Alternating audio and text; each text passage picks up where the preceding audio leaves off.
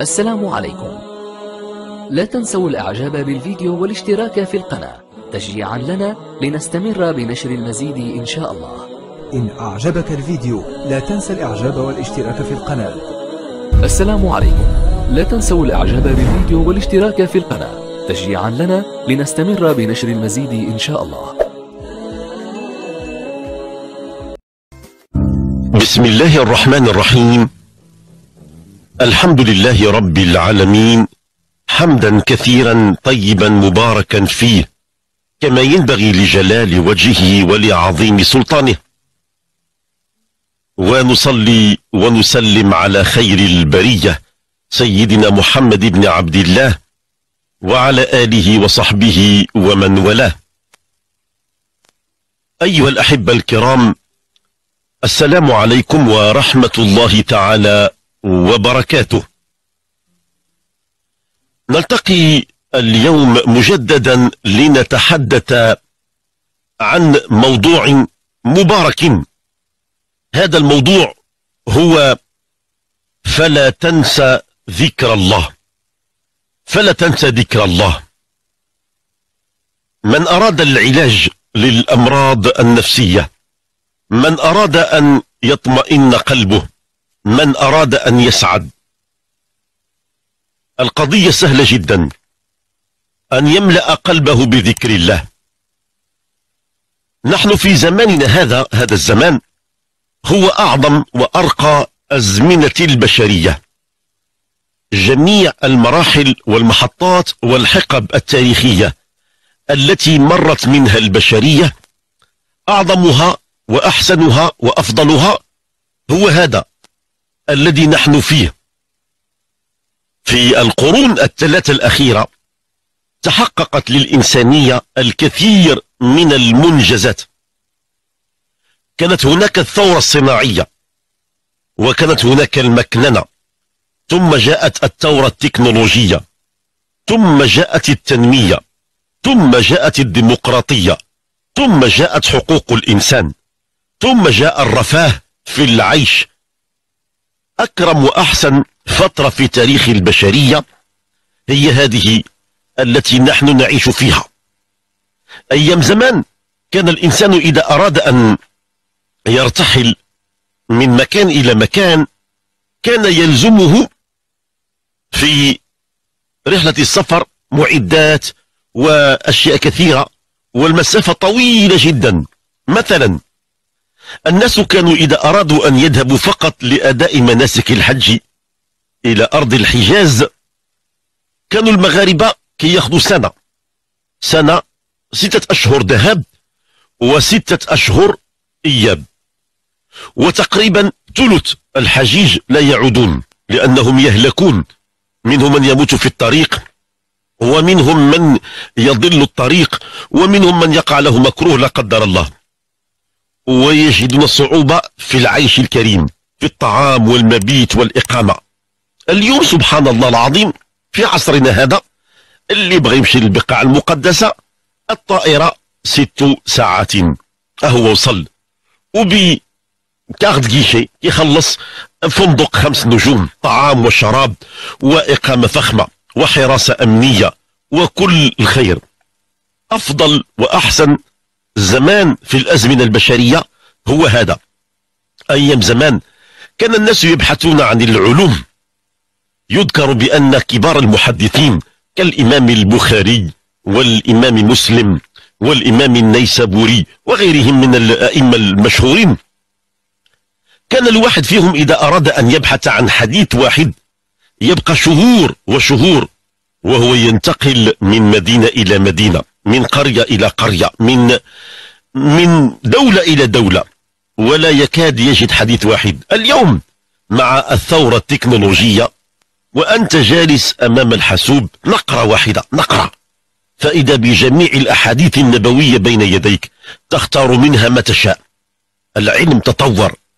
وقس على ذلك الطب والتكنولوجيا وكل شيء كل شيء. زماننا هذا هو خير الأزمنة على الإطلاق. لكن نجد هذا الزمان فيه شقاء كبير. الناس يتحدثون في خطابهم عن التعب وعن الأزمة وعن الأضرار وعن القلق. ما الذي يقع في زماننا هذا؟ إذا قمنا بواحد البحث دقيق غادي نلقاو بأن زماننا هذا لا ينقصه إلا شيء واحد فقط. شيء واحد. وكل شيء سوف يستقيم. ستستقيم كل الأشياء. لا ينقصنا في هذا الزمن أي شيء. عندنا العلم عندنا الثروة عندنا الإنسان متقدم بحقوقه عندنا المسار الديمقراطي رائد عندنا الخيرات في كل مكان الثروة البشرية التنمية الاقتصادية. ما الذي ينقصنا؟ شيء واحد. هو الذي كان أيام زمان عند الناس القدماء. الناس القدماء كانوا سعداء جدا رغم أنهم كانوا فقراء رغم أنهم كانت كتجيهم مراحل ديال الأمراض الأوبئة الطاعون كان كيجيهم الفقر الشديد كانت كتجيهم المجاعة ومع ذلك كانوا سعداء أكثر أكثر أكثر منا بكثير لماذا؟ لأن ذا الشيء الوحيد اللي كنفتقدو حنا هنايا في عصرنا هذا كان عندهم في ذلك العصر ما هو ذا الشيء الوحيد؟ هو ذكر الله. ذكر الله لا يمكن أن يختلف إثنان. على أن العصور الماضية إذا فتشنا في التاريخ غادي نلقاو بأن جميع الناس اللي كانوا قبل منا كانوا سعداء جدا رغم فقرهم ورغم تواضعهم لأنهم كانوا ذاكرين لله. عصرنا هذا رغم أن في كل شيء ولكن عندنا الكثير من القلق والاضطراب والتعاسة والسبب عدم ذكر الله. فنحن في أمس الحاجة في زماننا هذا أن نقوم بكما الناس يتحدثوا عن الثورة الاقتصادية والثورة الاجتماعية والثورة السياسية نحتاج إلى الثروة والثورة ثورة حقيقية. لاكتساب هذه الثروة الحقيقية اللي هي هي ذكر الله. وغنلقاو بأننا سعداء ومطمئنين. ربنا سبحانه وتعالى يقول في كتابه العزيز الذين آمنوا وتطمئن قلوبهم بذكر الله. ألا بذكر الله تطمئن القلوب؟ كل واحد منا يسأل نفسه كيف حالنا مع الذكر؟ كيف حالنا مع التسبيح؟ كيف حالنا مع التهليل؟ كيف نحن مع التكبير؟ وكيف حالنا مع الاستغفار؟ أنحن من الذاكرين لله؟ أنحن من المسبحين لله؟ أنحن من المستغفرين لله؟ أم نحن من اللاهين؟ نحن من الغافلين. ربنا سبحانه وتعالى في كتابه العزيز يأمرنا بالإكثار من الذكر لأنه البلسم للجروح والمفتاح للأبواب المغلقة. يقول الله جل جلاله يا أيها الذين آمنوا اذكروا الله اذكروا الله ذكرا كثيرا. هذا الذكر له أثر عميق في حياتنا النفسية وفي علاقاتنا الاجتماعية وله انعكاس قوي على المجتمع داخليا على في كل الأصعدة. القرآن الكريم ذكر كلمة الذكر أكثر من 300 آية. في أكثر من 300 آية ذكر الذكر. لماذا؟ لأن الله عز وجل يريد منا أن الذكر يدور معنا في كل وقت وحين. يدور مع كل إنسان في كل شؤونه وفي كل أحواله وفي كل أطواره. ملي كتفيق في الصباح الباكر كتبدا بالذكر وملي كتشرع العمل ديالك كتكون في الذكر. ملي كتلبس اللباس ديالك كاين الذكر ملي كتاكل الطعام ديالك كتقول الذكر ملي كتاخذ أي نعمة من النعم كاين ذكر في المساء أيضا كله ذكر عند النوم ذكر عند العلاقة الزوجية ذكر في النظر إلى الأولاد ذكر في كل وقت وحين. هذا الذكر ينبغي أن يكون في كل الأطوار. والصلاة هي نوع من الذكر ولكن الصلاة هي فقط نوع. الذكر أشمل وأكبر. الذكر هو عبادة القلب والصلاة عبادة الجوارح. نحن نصلي جميعا لله خمس مرات في اليوم. هذاك ذكر الصلاة ذكر ديال, ديال الجوارح ركوع وسجود وغير ذلك. أما الذكر فهو عبادة القلب. لهذا قال الله عز وجل وأقم الصلاة لذكري. وأقم الصلاة لذكري. فالصلاة إنما شرعت من أجل ذكر الله تعالى. اليوم كنلقاو بأن البشرية قلقة ضجرة. اللي كيتبع وسائل الإعلام غيبان ليه العالم ضجر. غير تفرج في الأخبار تمرض نفسيا. غتسمع بأن بؤر التوتر في كل مكان. غتسمع بأن الصراع ما بين الدول على المصالح غتسمع بأن هناك ترويج للأسلحة غتلقى بأن هناك اختلاسات للأموال العامة غتعرف بأن هناك قلاقل في كل مكان. كتسمع الأخبار تصاب بالاكتئاب. لهذا بعض الناس كيوصيوك لا تسمع الأخبار خصوصا المتعلقة بالعالم العربي لأنها تؤدي إلى الاكتئاب وتؤدي حتى الرجال ما بقاش عندهم القدرة ديال الرجال. اليوم نحن في أمس الحاجة إلى البحث عن سكينة النفس. نحن في أمس الحاجة للبحث عن طمأنينة القلب. لا شيء يؤدي إلى ذلك إلا الذكر. الذكر يجعل نفسك تشعر بالسكينة. يجعل قلبك يشعر بالطمأنينة. ومن ثم ينعكس على سلوكك وعلى أفكارك وعلى ممارساتك اليومية. فلا يصدر منك إلا كل خير. تصوروا أن المجتمع كله ذاكر لله. وكل يشعر بالسكينة والطمأنينة وكل يفكر بنور الذكر الكل سوف يعمل خيرا. وبالتالي غتلقى بأن هذا الذكر عنده انعكاس عظيم. جميع الكروب تنفرج انفراج الكروب وجميع العقد تحل ويؤدي إلى محبة الله. وربك إذا أحبك جعل الدنيا في خدمتك. سيدنا النبي صلى الله عليه وسلم يخبرنا بوصفة. وصفة إذا قمنا بها ونحن في عصرنا هذا عصر العلم والتكنولوجيا نحن في أمس الحاجة إليها. قال نبي الرحمة صلى الله عليه وسلم ألا أنبئكم بخير أعمالكم وأزكاها عند مليككم وأرفعها في درجاتكم وخير لكم من إنفاق الذهب والورق وخير لكم من أن تلقوا عدوكم فتضربوا أعناقهم ويضربوا أعناقكم. قالوا بلى يا رسول الله. قال ذكر الله ذكر الله. هذا أعظم شيء. الأمر الذي يحبه الله. خير الأعمال ذكر الله. أزكاها عند ملككم ذكر الله. أرفعها في درجتكم ذكر الله. خير من إنفاق الذهب والفضة ذكر الله. خير حتى من الجهاد في سبيل الله. ذكر الله. هذا هو التعليم الذي علمه إيانا النبي الكريم صلى الله عليه وسلم. تصوروا بأن النبي الكريم يحكي لنا يوم القيامة.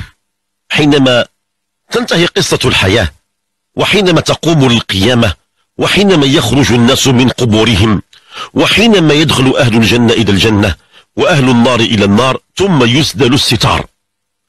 أنذاك الناس في الجنة يشعرون بالحسرة. الحسرة. على ماذا يتحسرون وهم في الجنة؟ يتحسرون على أنهم ضيعوا أوقات في الدنيا لم يذكروا فيها ذكر الله. حتى واحد ما كيتحسر لأنه بقى بلاشا أو تحسر على أنه ضاع لي حق في المحكمة أو كيتحسر أن فتاة بقات بلا زواج أو إنسان لم يرزق أولاد. أو إنسان ظلم. هادشي كله متاهات وأشياء هامشية. لكن أعظم خسارة هو أن الإنسان كتمر بأيام بل ولحظات في الدنيا ولا يذكر فيها الله. قال النبي صلى الله عليه وسلم ما من ساعة تمر بابن آدم لا يذكر فيها الله إلا تحسر عليها يوم القيامة. يتحسر. الصالحون كانوا يفرحون بذكر الله. لماذا؟ لأن كيقول لك إذا ذكرت ربي ربي غيذكرني تصور الرئيس ديالك في العمل رئيسك المباشر كيذكرك كيقول لهم فلان أو فلان الله يعمر له الدار فلان أو فلانة آه الناس مزيانين آه مصلحين مباركين. تصور تصور الرئيس ديالك كيشكرك. غتفرح؟ أكيد غتفرح. وكتشعر بالنشوة. فما ظنك بأن الذي يذكرك هو الله جل جلاله؟ الخالق الذي قال في محكم تنزيله فاذكروني أذكركم فاذكروني أذكركم. الله أعظم مقام أعظم أعظم وأرقى مقام. كانوا بعض الصالحين كيوقع عليهم واحد النوع بحال الحمق والجنون يطلق الدنيا وكيتسمى بوهيلي وكاين اللي كيتسمى المجدوب جذبته رحمة الله. يقول لهم خذوا دنياكم تمتعوا في أزماتكم الاقتصادية والسياسية ودعوني مع ربي. كيمشي بعيد يذكر الله سبحانه وتعالى وكيشعر بالحلاوة. فاذكروني أذكركم. سيدنا النبي يخبرنا بأن ربنا عز وجل في الحديث القدسي ماذا يقول عن الذاكرين؟ اللي كيشغل نفسه بذكر الله. يقول أنا عند ظن عبدي بي وأنا معه حينما يذكرني. فإن ذكرني في نفسه ذكرته في نفسي. وإن ذكرني في ملأ ذكرته في ملأ خير منه. وإن اقترب إلي شبرا اقتربت إليه ذراعا. وإن أتاني يمشي أتيته هرولة. الله الله الله الله أعظم نعمة وأعظم كرامة. هي أنك تذكر ربك فيذكرك.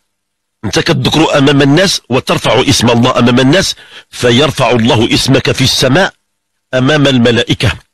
أنت إذا اقتربت من الله ولو قليلا فإن الله يقترب منك كثيرا.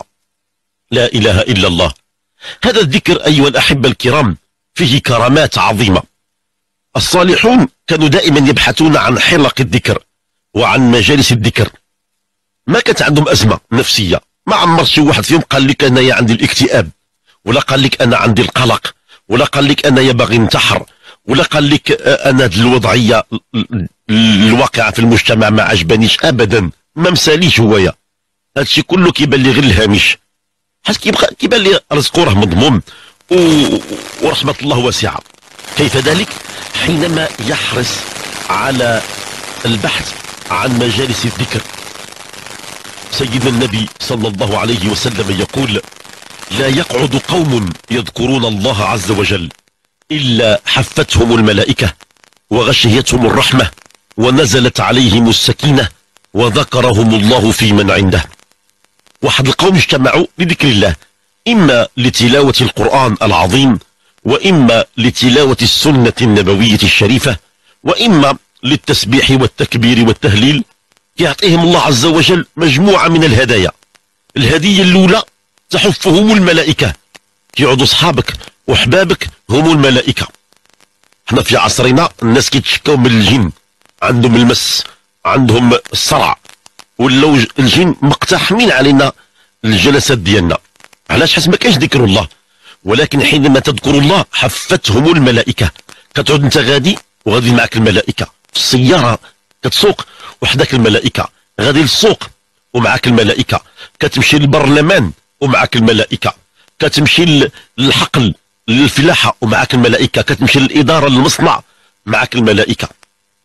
وكتمشي لبيتك مع زوجتك وأولادك حفتهم الملائكة. يا سلام على حياة ملائكية حياة نورانية. إلا حفتهم الملائكة وغشيتهم الرحمة. الله كيعود الإنسان مرحوم. كيشعر الرحمة في قلبه وكيشعر بأنه ثم مشى الرحمة تبعه وتتقدمه وهو ومن حوله مرحومين لوجوده.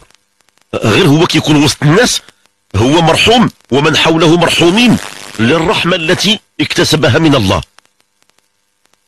فسبحانك يا جليل الناس اليوم محتاجين إلى الرحمة.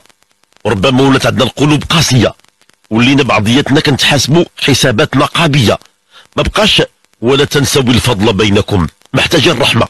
باش نكتسبوها نحرص على مجالس الذكر. إلا حفتهم الملائكة وغشيتهم الرحمة ونزلت عليهم السكينة.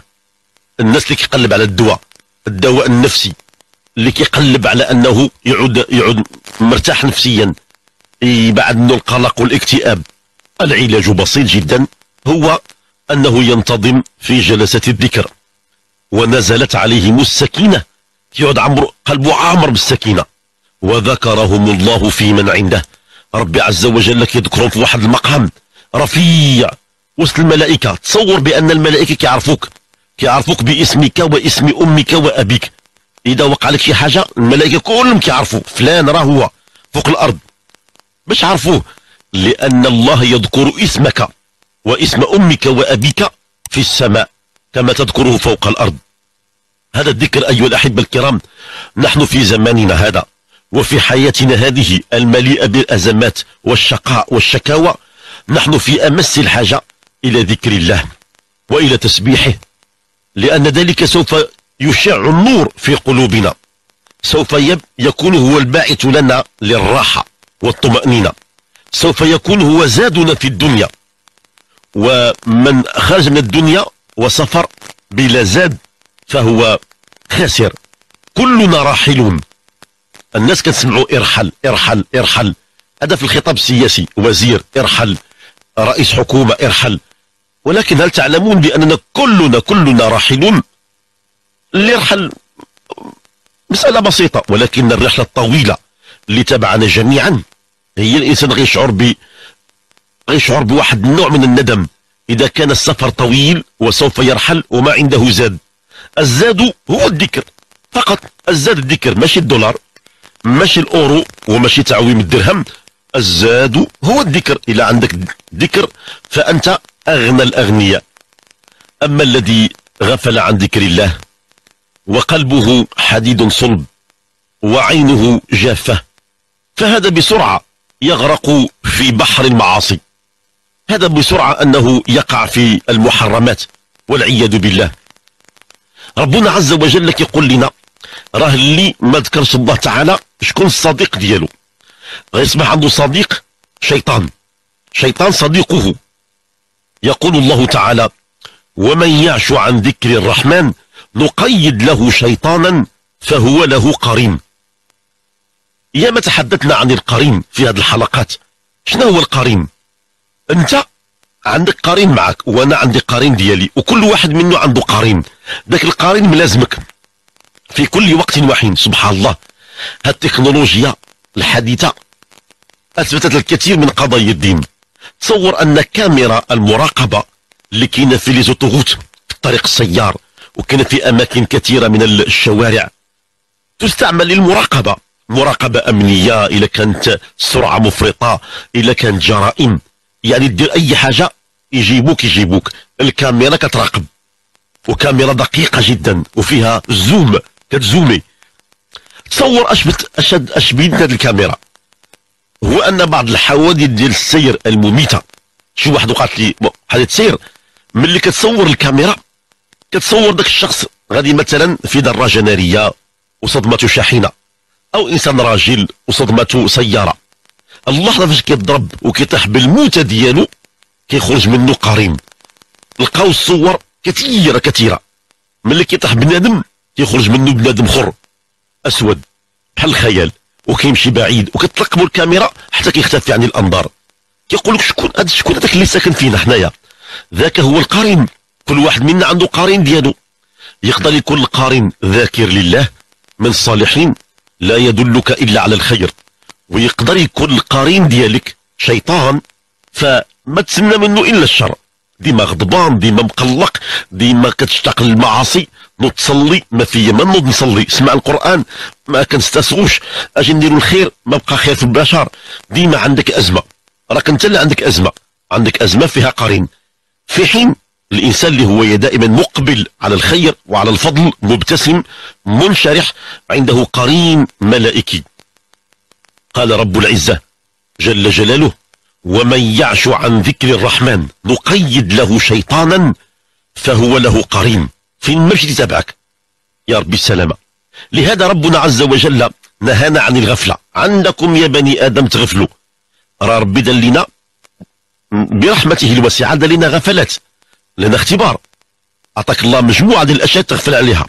أول حاجة أعطانا الله الأموال. حنا كلنا ملي كيصبح الحال حنا كنجريو. كنقلبوا على لقمة العيش. ومنا من يفوق لقمة العيش كيقلب على الثروة بغى الفلوس بغى ال compte bancaire ديالو يكون ضخم. بغى بزاف ديال الثروات هنا وهنا وهنا وهنا. هذه فتنة. وكاين اللي مضربة مع ولادو. هذا مشى للمدرسة هذا ما قراش هذا نحارف ليا. النهار كامل هو مضارب مع اولاده ربي قال لك شوف وانسى شوية نسى نسى الفلوس نسى التجارة نسى الأولاد. وانتبه إلى ذكر الله. وكل شيء غيتصوب لك يقول الله تعالى يا أيها الذين آمنوا لا تلهكم أموالكم ولا أولادكم عن ذكر الله ومن يفعل ذلك فأولئك هم الخاسرون. شحال ديال الناس تقول لي شحال ذكرتي ربي؟ يقول لك قليل نهار كامل هو مزارب مع الأولاد مدرسة الخدمة تباتا سدوا البيبان مضارب مع الوليدات ومع الفلوس. ما بقى لي والو ما شيط والو. غير ذكر الله تعالى وانشغل بذكر الله الوليدات غيتصلحوا بفضل الله. والرزق غيجي تال عندك بين يديك. فهذا الذكر عظيم جدا. إنه يطرد الشيطان ويقمعه. يقول ابن عباس رضي الله عنه الشيطان جاتم على قلب ابن آدم. كل واحد منا عنده شيطانه جاتم على قلبه. فإذا سهى وغفل وسوس له. فإذا ذكر الله تعالى خنس. إحنا كلنا عندنا شياطين. ملي كتسمع دوك الهواتف في ذهنك واحد الخاطره أجي ندير كذا؟ أجي نصوب كذا؟ ديك الساعة خواطر ذهنية. هي في الأصل وساوس شيطانية. كيكون الإنسان بقدو وقضيده رجل فاضل وكتلقاه كيدير واحد الفعله أعوذ بالله من الشيطان الرجيم. أو إنسان ربما عالم أو صالح أو مسؤول وكيدير واحد الفعله ناقصة. كتقول كيفاش هذا الإنسان سمحت له نفسه أن يقع في هذه المستوى الدنيء راه ماشي هو. راه الشيطان ديالو. كيستنى غير يغفل. كيقول لي تزيد زيد هنا كيوقف العقل وكيوقف القلب ويقع في المحظور. الشيطان جاتم على قلب ابن آدم. فإذا سهى وغفل وسوس له. فإذا ذكر الله خنس أي تراجع. لهذا سمي الشيطان بالوسواس الخناس. والذكر هو الذي يخنسه أي يبعده عنك. هذا الذكر يبعد الشيطان يطرده يقمعه وأيضا يقربك من الله. الله عز وجل يرضى عنك الرحمن يرضى عنك ويزول الهم والغم عن القلب ويقوي الله تعالى البدن وينور الله الوجه ويشرح الله الصدر ويجلب الله تعالى لك الفرح والغبطة والرزق الوفير. سبحان الله العظيم الذاكرين كتلقى عندهم واحد النور ديال المهابة في وجوههم. كتلقى عندهم واحد النظرة جميلة. كتلقاهم يشعروا بالحلاوة ديال الإيمان. علاش؟ لأن الله يحبهم. الذكر يورث محبة الله. الذكر يشافينا من الأمراض والأسقام. ربنا عز وجل ويقول وننزل من القرآن ما هو شفاء ورحمة للمؤمنين. الذكر هو غراس الجنة. ملي كنذكر الله تعالى. راني كنغرس. اللي كتلقى شاد واحد السبحه وكيذكر الله كيذكر الله. سبحان الله الحمد لله لا إله إلا الله الله أكبر. ولله الحمد سبحان الله الحمد لله لا إله إلا الله الله أكبر ولله الحمد. غادي في الطريق غادي في الخدمة ديالو راه فلاح راه غراس كيغرس. فالذكر غراس الجنة. النبي الكريم يقول من قال سبحان الله العظيم وبحمده غرست له نخلة في الجنة. فقط. هذه الكلمة. قولها قولها الآن. قل سبحان الله العظيم وبحمده. هي تغرست لك الآن نخلة في الجنة. هذه النخلة عظيمة. ظلها ظلا ضليلا لا يقطعه الراكب إلا في خمسمائة سنة. فيها من الخيرات والبركات ديك النخلة ما لا ينتهي. وتصور في كل قولك سبحان الله العظيم وبحمده سبحان الله العظيم وبحمده سبحان الله العظيم وبحمده. نخلة نخلة نخلة نخلة. غتجي يوم القيامة غتقاسك بأن عندك فدادين ديال النخيل. غتكون من أغنى الأغنياء. وقس على ذلك. إلى عندك الهم والغم.